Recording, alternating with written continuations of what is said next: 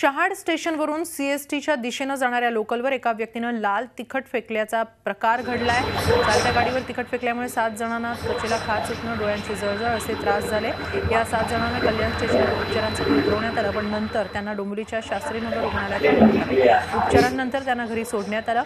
हे तिखट फेकणाऱ्या व्यक्तीला पकडण्यात यश आलंय. काही प्रवाशांचा बदला घेण्यासाठी हे कृत्य केल्याची कबुली त्यांनी दिली. झी चोवीस तास. रहा एक पाऊल पुढे.